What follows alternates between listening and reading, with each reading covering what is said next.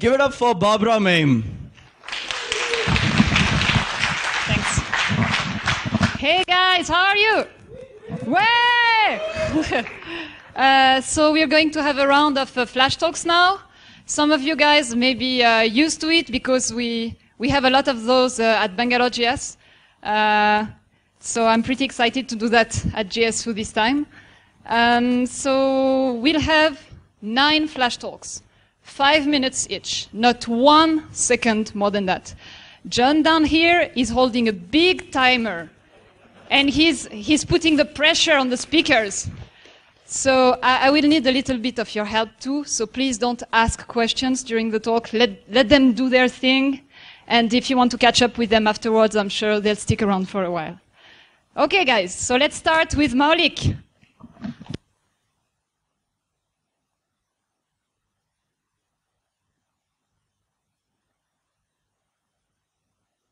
Hello. Uh, good evening, awesome people. So, first of all, I would like to start with the thank you to JSFoo and Bangalore JS for this awesome event and uh, letting few people of us like to have a flash talk. So, I'll start without wasting my time. So, this is not me. Uh, cool. Where is my presentation? Okay, so I'll start with the question that how many of you have ever created your resume with LaTeX? One, two, three, four, five, six, seven, eight, nine, ten. Only ten. So, so actually that's why uh, I have started uh, doing research on these things and started creating a tool that will take a help of LaTeX for creating the resume. So it's a, when you start like LaTeX Resume Maker, you will get a second link, this cvsintellect.com and there inside. It will take some time to load as usual. So basically we have we have used uh,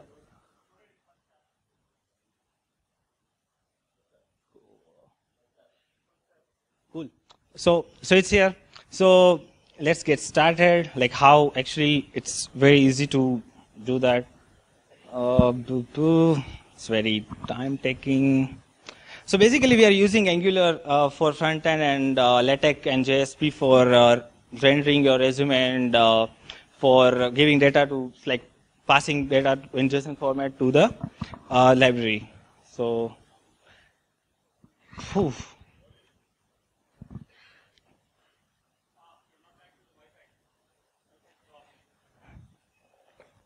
oh my god.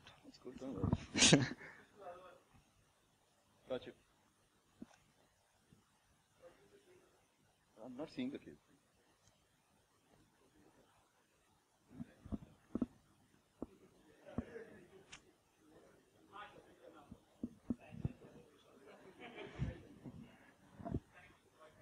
Yeah, I know. Thank you.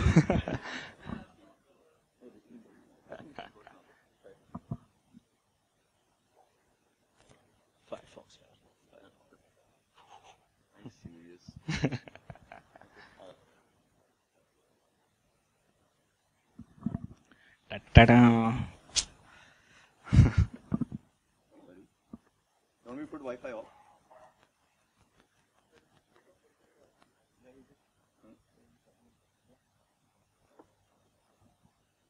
Cool. We, I want to, I like to do without registering. Yes. Whatever it is. Blah, blah. Yeah, let's import data from LinkedIn. And da, da, da.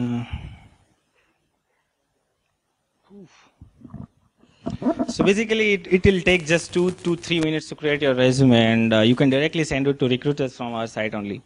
So, so if internet is fast. Ooh.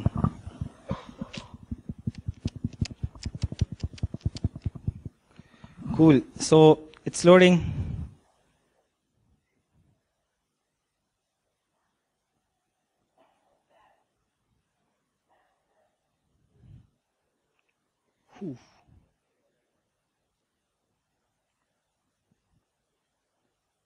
Cool. So it's Hemant's computer and he was logged in in LinkedIn. So it, I'm sorry, but your data is here now. So, all his data is here. He can directly do uh, preview. Yeah. don't worry, we are not. You are uh, trying without registering, so don't worry about that. So let's do preview. Yeah. Its LaTeX resume is ready.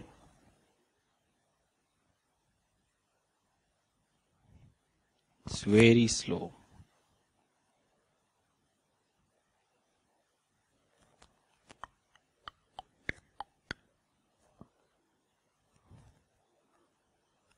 Cool. Let's see. Uh, let's see. Meanwhile, it's rendering. Let's see the. Yeah, it's there. Resume is ready. All is data. So, a few features that we are giving is uh, you can change the template. Like if you like this, this design, just click it, save it, and uh, refresh the tab. It will change the design.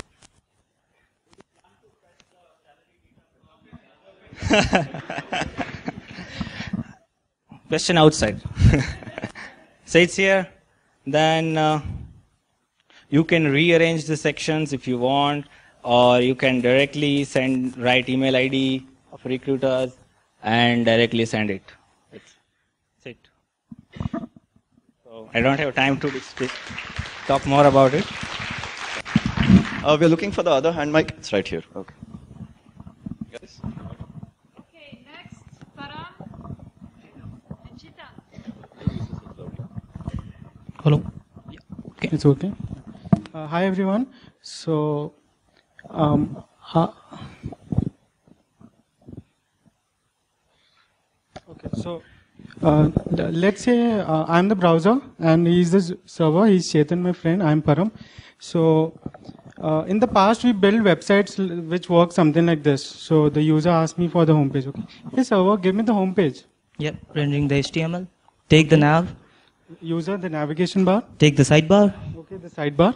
Take the content. Okay, user, the site is ready for you. Oh, you want the profile page. Server, give me the profile page. Yeah, rendering the HTML. Take the nav, Okay. take the sidebar, Navigate, uh, sidebar ready. take the profile content. Okay. User, the profile page is ready. So you see how on each refresh, uh, every time I'm asking the server for the HTML. Now we are cool guys, right? We code in JavaScript. So we make a cool Angular JS or backbone front-end app. So let's see how that works. So I'm a cool app now. Hey server, give me the, give me my app. Yeah, I'll take the scripts. Okay. Okay, user, wait, I'm, I'm loading the scripts. Okay. You want the homepage. Give me the homepage content. Yeah, take the homepage content. Okay, I'm rendering it. Okay, user, this page is ready. Oh, you want the profile page. Just give me the profile content. Yeah, take the profile content. Okay, I just swap out the original content with the profile content. Now, yeah, that's good. On each response, it went out quite fast, but the initial load was bad, right? On Gmail, like you, how you see it, it there's a big loading bar in the beginning. You just want to see your mail. eh, There's some new mail that has come. You just want to see that. So there's got to be something better, right?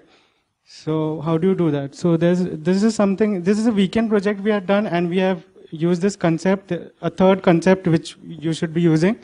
So what happens is, um, let's go to the homepage. Cool, the net is good. I search for cafe. What this app does is, uh, you can tell your friends where you are heading, so so they can catch up with you. So whatever you search um, will get shared to Facebook.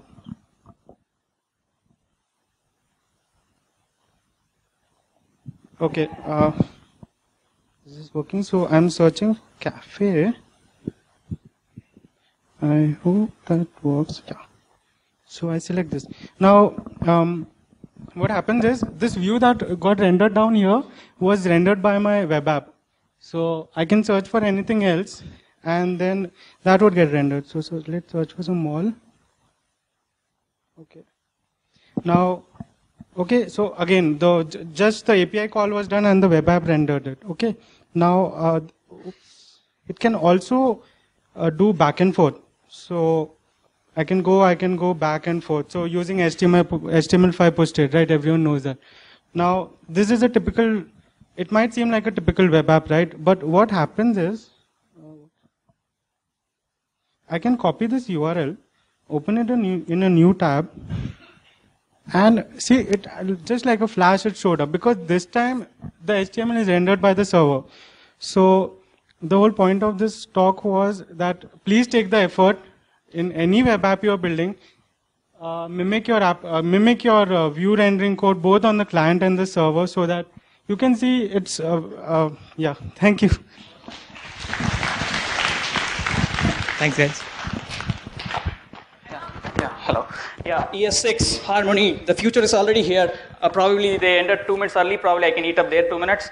Uh, um, okay, this is about me. You can find me there. And if you do uh, V8 options and grep for some harmony stuff, you can find all of these options is already enabled in V8, so we can use Harmony right now. It's not the future, it's right here uh, on the latest build. And I have written a small one-liner to pump in all the flags, and we are ready to go.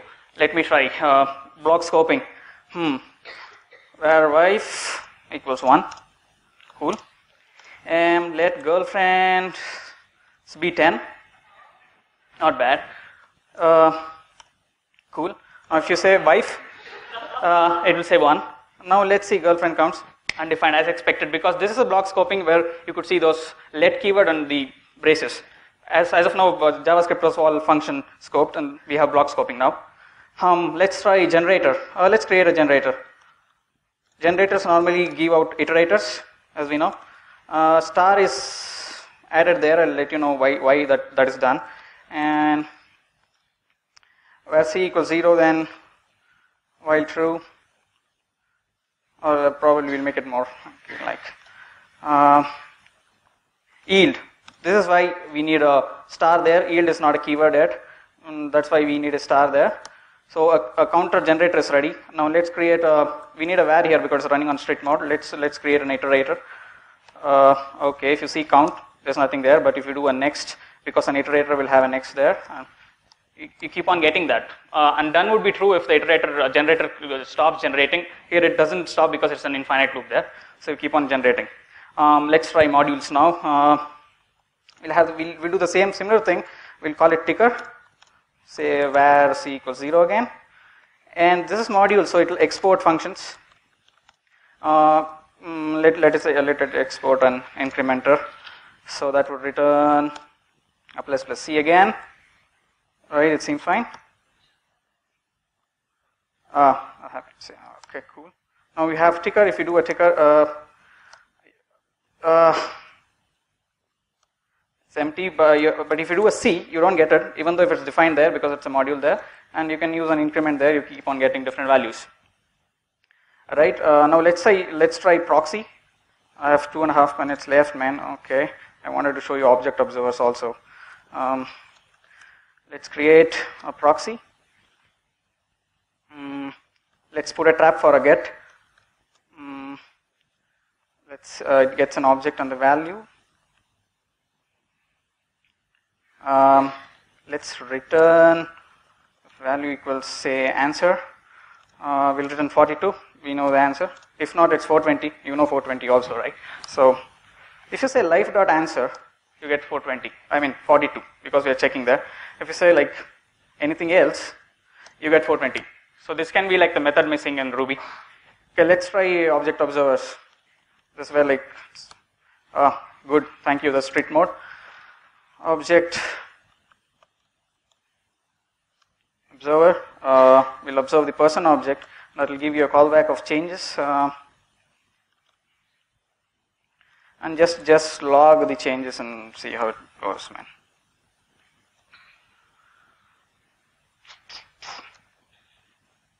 Okay.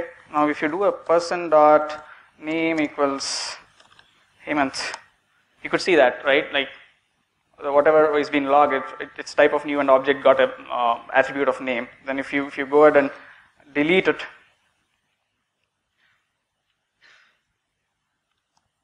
you could see that it was deleted and what was deleted, right? You can do the same thing for an um, array probably. An array has a different uh, observer of its own, say like Okay. Uh, I have 40 seconds left. Not bad.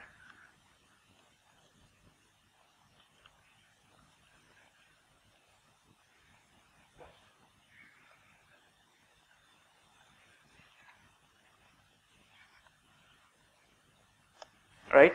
Uh, so we do list.pop. You could see that, right? We could also do a similar thing on push, right? So uh, apart from this, we have uh, maps, weak maps, symbols. Uh, so uh, some of them are not implemented, and uh, thank you for your patience. Enjoy.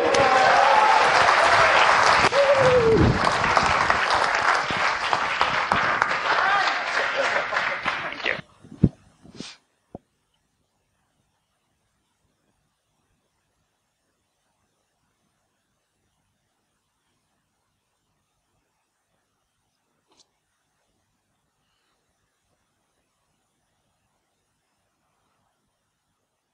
All right. So I want to let you know all that there is nothing in this world and we are all one connected to the universe.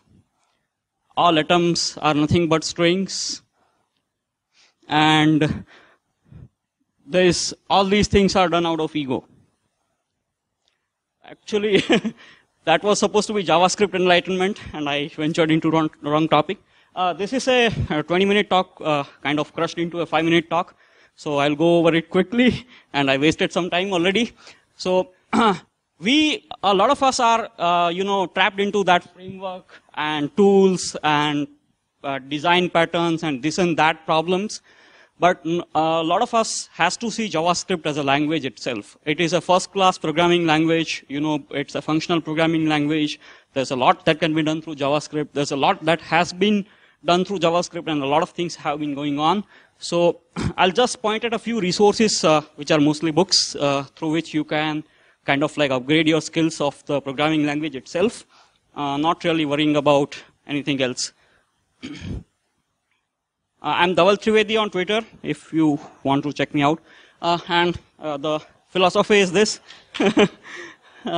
We cannot solve the problems with the same level of thinking that created them. So if we are always in the, you know, doing CRUD apps and uh, thinking in DOM and, you know, uh, thinking in AJAX request, we are ne- never going to go beyond that. So I think we need to break that and move on. And we know JavaScript is probably everywhere. Uh, uh, I think there's one more project that I think you might have checked out. Espruino is already kind of like Arduino with JavaScript. You can do firmware programming with JavaScript. Uh, I'll show you some more examples in the end. so you need to learn how to think in JavaScript. That's the most important part. Uh, I'll, I'll show you why thinking is very important. Uh, started experimenting with Vim, which is obviously the number one uh, code editor, uh, hands down. uh, and the way you can use Vim is to start thinking in Vim. Once you start thinking in Vim, the code just flows. And obviously Emacs is number two. Uh, Matt Swen started using Emacs. He eventually discovered Lisp, and you know uh, that uh, uh, eventually led him writing Ruby, uh, which you cannot do using Sublime, of course. Uh, okay, so how do you think in JavaScript? So how do you think in JavaScript? For that, you need to answer what is JavaScript, and what is JavaScript leads to Nirvana. JavaScript is nothing but Lisp in C's clothing. This is very important. If you know this, you, you can, you know, use JavaScript to your uh, uh, advantage and whatever else you can. Um, uh, there's a nice person who said that JavaScript has more in common with functional languages like for Scheme than with C or Java. And uh, no, I think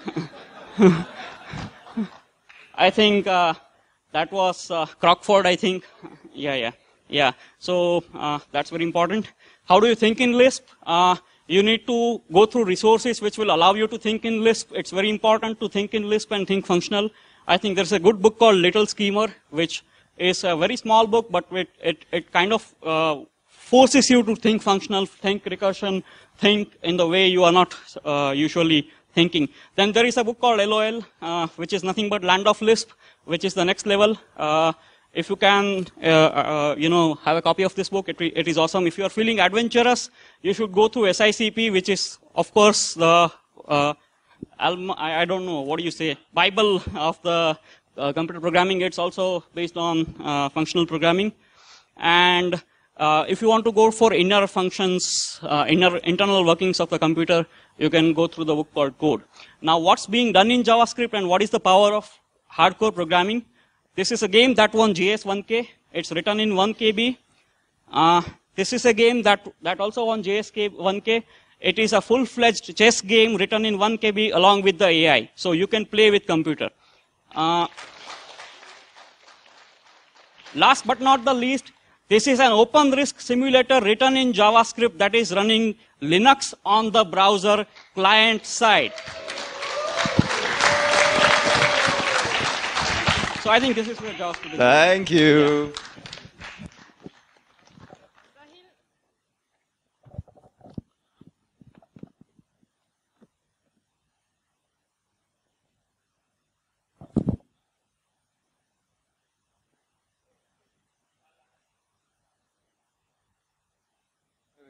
Uh, hi. Uh, sorry, this thing is in continuous scroll mode, and all my animations have gone to hell.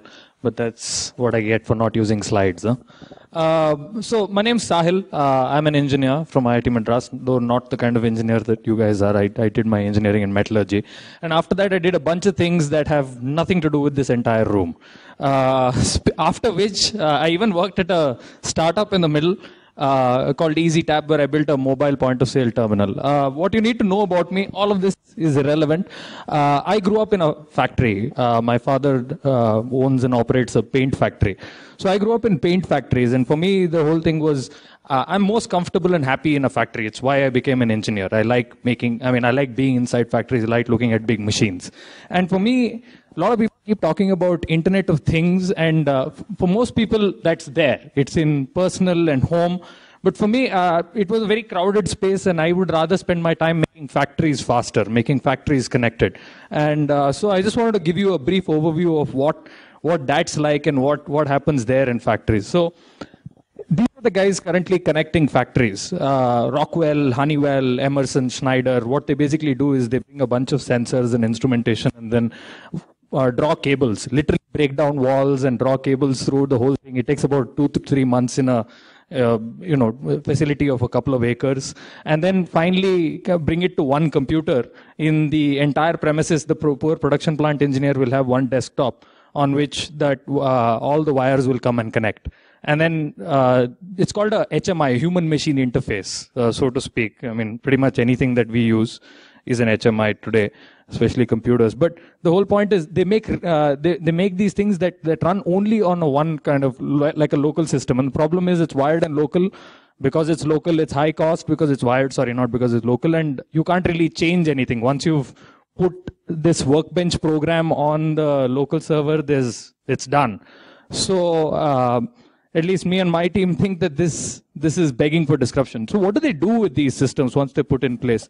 All kinds of things, but most commonly the smallest things that are used most often are the ones that need to be connected: pumps, motors, valves. Uh, that's an RFID chip to, to track location of things. Uh, so you want actuators to actually turn valves when something happen, uh, when when the pressure builds for too long, or uh, you want motors to basically be switched on to fill up a tank or things like that. Or you know, even in the oil field, you have remote uh, remote sensing equipment.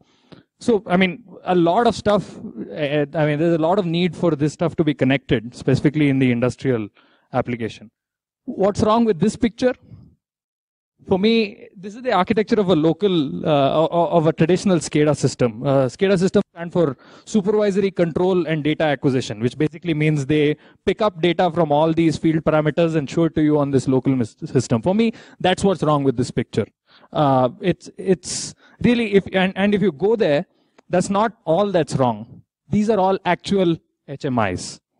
The the uh, that one was built by Honeywell.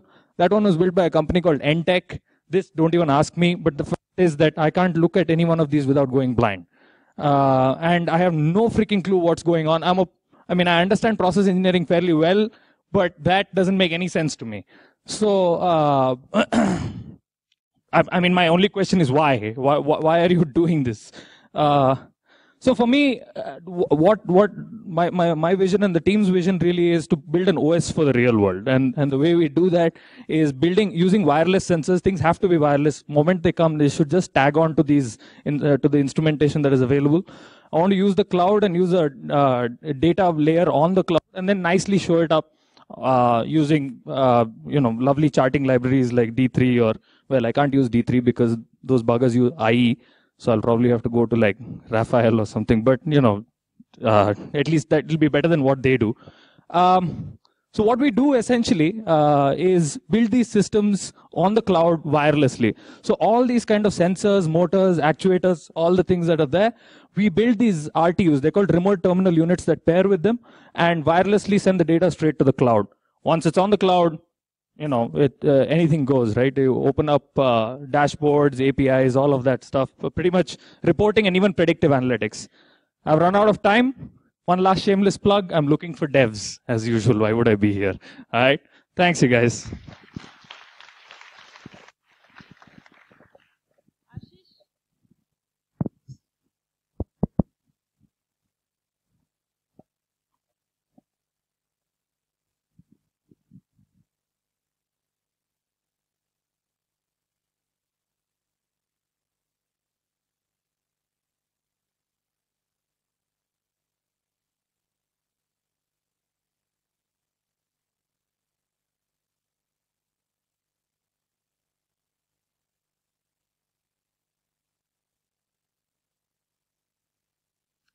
Hey guys, uh, I am Ashish, also known as Pocha.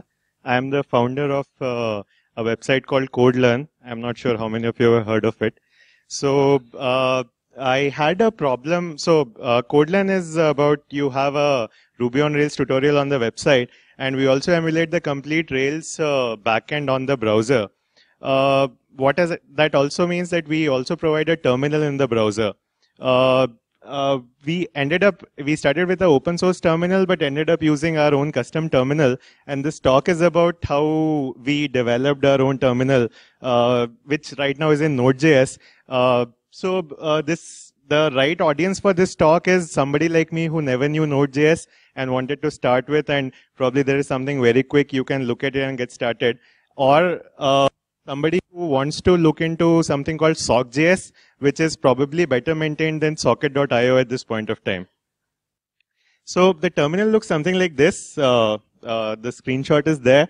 Uh, th- this is a pseudo terminal, so it is not really an actual terminal. So not uh, when in an actual terminal, every key press gets reported. So you probably see some lag when you type. Uh, but this is like a you write something and then you press enter and all the data goes back and something comes up and it shows up. Uh, this is the typical life cycle that we gone through uh, why and when we came up with this thing. Uh, we use gate one to start with. Uh, it has a lot of quirks so it is again an open source thing. Uh, then we ended up creating a version in ruby because i knew a lot of ruby. I didn't really know node.js at this point of time. Uh, it has significant delay. I tried Fei it's again a ruby in again ruby. And it has its own set of quirks. Uh, then I ended up trying Sock.js and the server-side logic uh, is basically written in Node.js. Uh, this is the typical architecture. So Sock.js client is on the browser. On the right, you see the server. It uses a library called pty.js, uh, which eventually spawns uh, one process for every user that connected that that connected on the browser.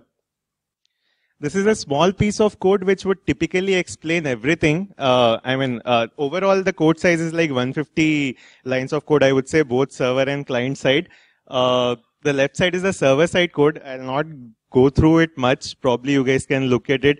But this is typically what's happening that SockJS is uh, creating a socket and uh, when the data comes in, it is being fed to the terminal. So we, pty.js uh, spawns a terminal for the user and this is this this would typically give you uh, an idea of how it's happening. Uh, I have before coming to the talk, I have also stripped down. Uh, this is an open source project, by the way. Uh, before coming to the talk, I have stripped down and I have put it out uh, in that pocha dot uh, sorry github.com pocha terminal demo. You can probably have a look at it if you want. Uh, uh, there is a live demo also at the above URL, but probably you guys can check it out and I don't want to spend your time uh, showing you what it is. For the people who are looking to use it on production, there are some of the gotchas.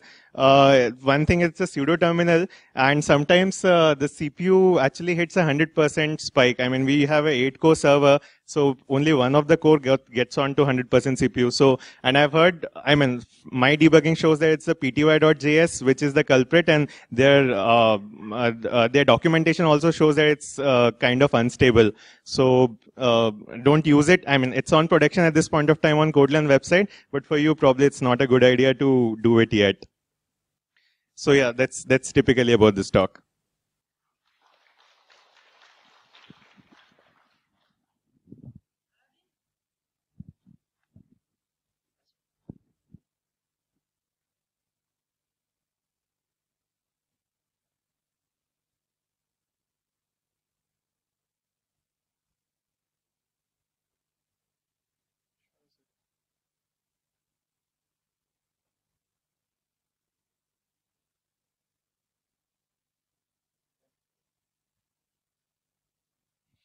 Uh, all right. Hi, my name is Aravind. Uh, I work for this company called Scrollback. It's a startup. And if you've been to the HasGeek website recently, uh, and you hit the IRC channel link at the top, you have this uh, chat window pop up, which is linked to their IRC channel. So this is what we do. That ends the self-promotion part of this talk. Uh, okay, Ashish just gave you the uh, answer to this one, but I was I intended to you know ask this as a question. Um, this talk is about what libraries uh, you would you know how you would go about choosing a library uh, for your Node.js project. I mean, if especially if you intend to use it in production, uh, you know you need to find a library that is still actively maintained. And between these two, um, you know, Socket.io is a lot more a lot more popular. You know, people have heard of it more, but it turns out that it's not so well maintained anymore. And uh, SockJS would be the one. Uh, I mean, we learned this hard way. We used Socket.io first, and then we switched to uh, switched to SockJS uh, recently. So uh, you know, this has happened to us a couple of times, and so I have this kind of informal rule of thumb of how I would go about choosing a library.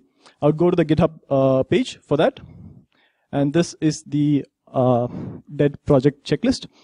So I would check if it has any recent commits, obviously. Uh, I would look at the issues and the pull requests, but I wouldn't look at the open ones. I would look at the frequency with which uh, pull requests are closed and issues are closed. And I would, uh, you know, if I can't choose between two libraries based on these, I would read up on the actual issues and, uh, you know, what people say. Uh, a couple of things that aren't, aren't great indicators of which library is better maintained is what the maintainer says about whether it's maintained or not. And with, and, uh, you know, uh, the data on on the npm, the metadata on npm, like you know what was the latest release date and all that. Uh, now, we also faced another issue where we picked a library which was fairly well maintained, and then we ended up using a feature within the library which was not so well maintained. Uh, and that is, um, you know, the Node MySQL library, which is like, you know, very, very popular. And uh, it turns out that their focus right now is on building the connection pooling. And if you use uh, you know, single connect connections to talk to your MySQL um, database, it, it crashes after a very long time, like two days or so. Um, yeah, so this is this is another issue that you face, and uh, you know, you the way around is to just re rebuild your application with the new and you know more maintained feature set. And quite often you find that you know there is no alternative. There's just one library out there which you can use which serves your need and that's not so well maintained anymore. And then you need to ask yourself two things. One um, can i maintain this? I mean if if i run into issues using this can i can i maintain this? Uh, so the answer to that was yes for us uh, for this library node irc so we found issues on it and we figured out we could fix this and uh, use it in production for ourselves. And another one was um, uh, node identity, which we need to connect to Freenode and all that. And uh, it turns out uh, that it was not worth our time trying to maintain it. It was much easier to just build one ourselves. So this is like the overall uh, flowchart that you need to kind of go through to pick a library to use in Node.js. Uh, that's my email address. That's it.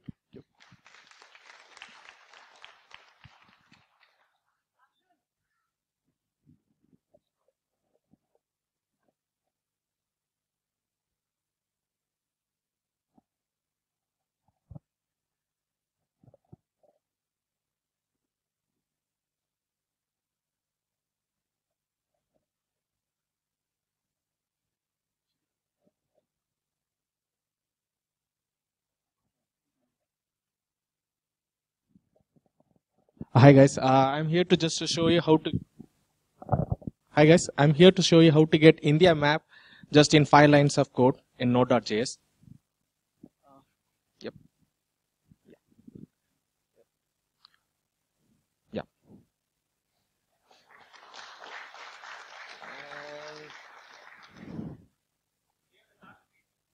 Oops.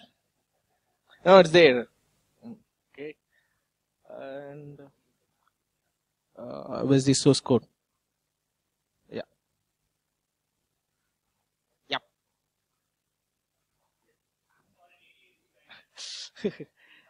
okay. Uh, here's the code, which is like just five line. Okay. Uh, I could see how we could do this. I'll just. Okay. Here it is. So just I just expanded it how to uh, for our understanding. Okay, just uh, we have the uh, codes in obfuscated, and uh, here is what I am doing. Just we are getting we have assigned a equal to 10 and b equal to 0, c equal to 10, c is equal to 10 just to uh, I'll explain why we have done that, and three just to get the explanation mark. Okay, and uh, here first we are getting the first character of India here that is T. Okay, and we are doing just b plus plus. So I'm just saying that uh, we are going to the next one. And I'm always checking here a is greater than 64 because like t it's greater than 64. Okay, so I'm just doing minus minus and c plus plus. So that's what like uh, here the c is I'm using just to get the 80 lines. Okay, and uh, when I'm if you see if c is equal to 90, that's we have to go to the next line. That's what it's being done. Where here I'm just to c is equal to uh, I get it as 10, so it prints this. Okay, it goes to the next line, and here I'm just uh, getting 1 and 0. Okay, uh, okay, I'm just checking whether it's 1 and 0, and based if it is uh, 1, we just print exclamation mark. Okay, and uh, if it is 0, we just print a blank space. Okay. And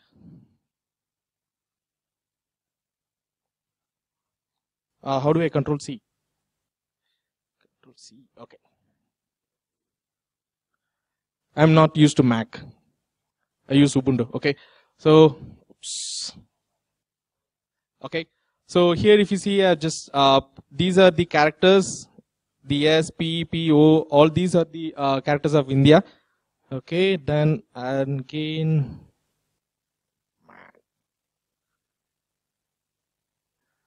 I'm just changing the code here. Okay, two minutes more.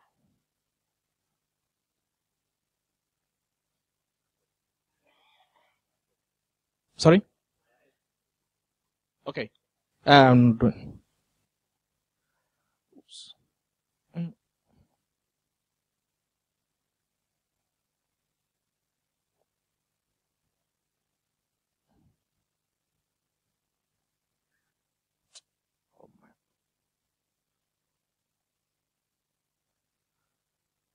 Oops.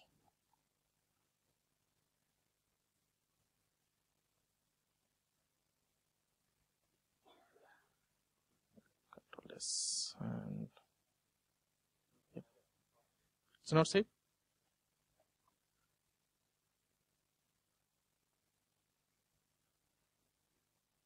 So this is how it's being done. Okay, you could see ones and zeros. Uh, just found this code in C++. I thought of converting into JS. Okay, and uh, yeah, here you could see the source code. Uh, if you want the source code, it's already there. Okay, thank you.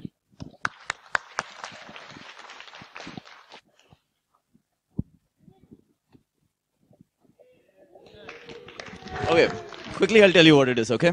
Imagine you work for an e-commerce site which sells shoes and chaddis and t-shirts, possibly named Myntra. Uh, it could be, uh, you could be working for a company called Flipkart. It could be with ClearTrip. Generally, they have a search experience. You search for something, you see a bunch of results. On the left, there'll be filters. You'll tap, tap, tap. It'll do a little spinny thing and show you the results. I don't like that. I like animations and I want it to be seamless. I want you to be able to generate it using your template, take it, dump it. The module should animate, figure out what the elements are and animate it into place. So, the demo that I have, I'm going to be generating 20 numbers between 0 to 30. Alright? Then every two seconds, I'm generating 20 more random numbers between 0 and 30. And it throw it at my module and it's going to figure out uh, which ones need to leave, which ones stay in place, which ones animate into place. Okay, that's it. That's the demo.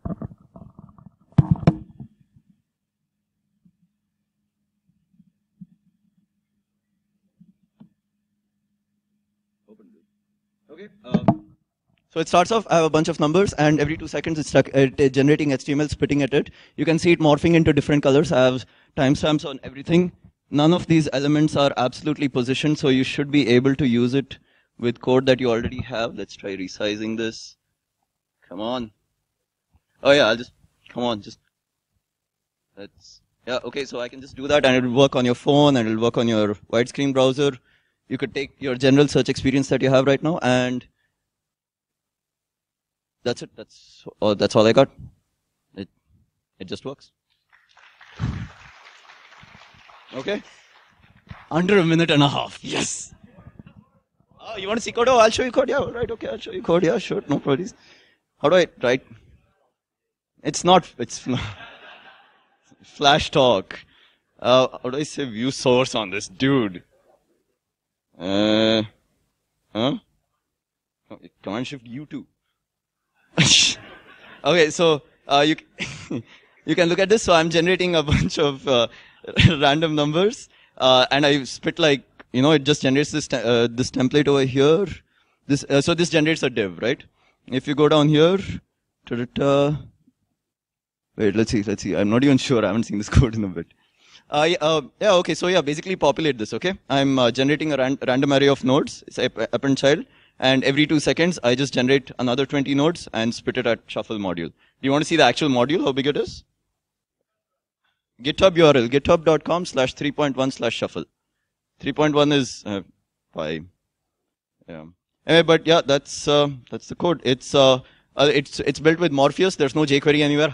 uh, I like Morpheus for animations, and I use just there's no like selector engine or anything. Uh, there's even a string helper, so you can generate HTML at it. Uh, right now I'm using DOM nodes, but yeah, you can generate one HTML string, throw it at it. There's a little function that it uses to figure out which nodes are the same uh, and which ones actually generate. Uh, you can do a little sorting. That's how it does sorting over here. So, yeah, dude. That's it. That's uh, that's all I got, man. Thank you. Still under four minutes. So uh, this is amazing. We are actually four minutes early, guys. Woohoo! so since we have four minutes left, I would like to ask uh, all the Flash Talkers to come on stage so that we can all applaud them, give them a big round of of applause because they did a great job and they played the game quite well. Congrats, guys.